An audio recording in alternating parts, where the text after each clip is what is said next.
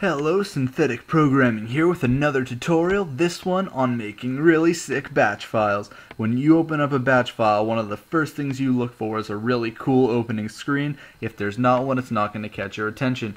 So what I'm going to do for you guys here is show you how to make a really cool one.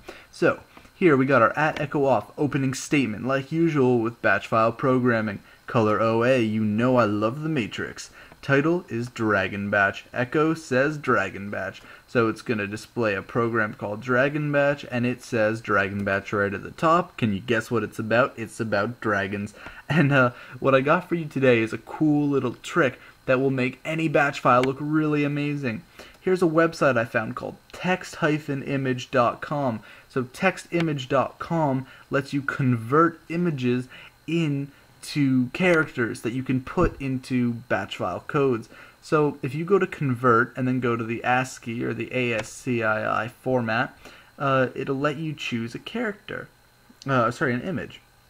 And I'm going to choose this, this image called images, which is of a dragon.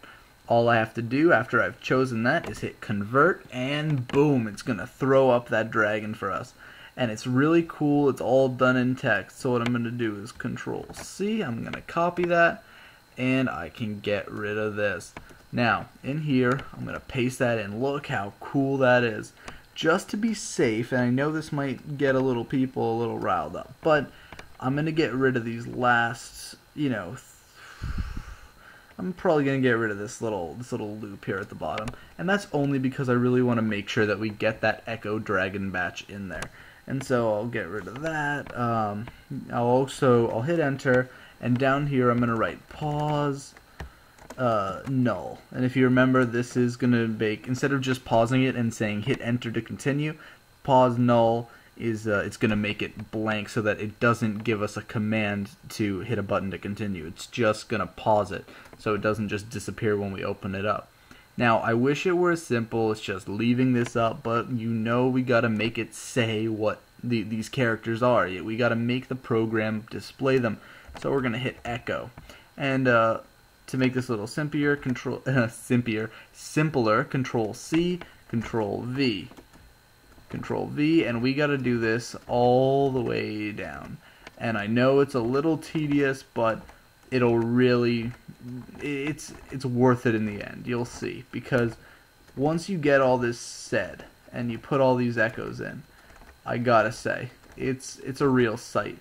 Um, when I put one of these together earlier, I was I was really amazed with the results. It really made my day to see what this can do. And uh, okay, there we go. We're done already. So what we're gonna do is we're gonna hit File. We're gonna save it and uh, you remember if we hit save as, we can always do it as dragon.bat. We're going to save it to all files. Hit save. I already saved it earlier, but we're going to replace it. And now what I'm going to do is I'm going to click that and bring it up. Look at that. It pops up Dragon Batch. And then you've got this beautiful green on black dragon. Now, it looks a little funny if you really focus on the characters, but blur your eyes a little. Look at the shape. It's sick. It's awesome. And I really hope you guys have fun with this in the future. Please rate, comment, and subscribe, especially if you want to leave us a comment with a link to your cool batch file. We'd love to check them out, especially when the fans make sick ones like these. Okay, cool. So again, rate, comment, and subscribe, and I will see you guys next time. Peace.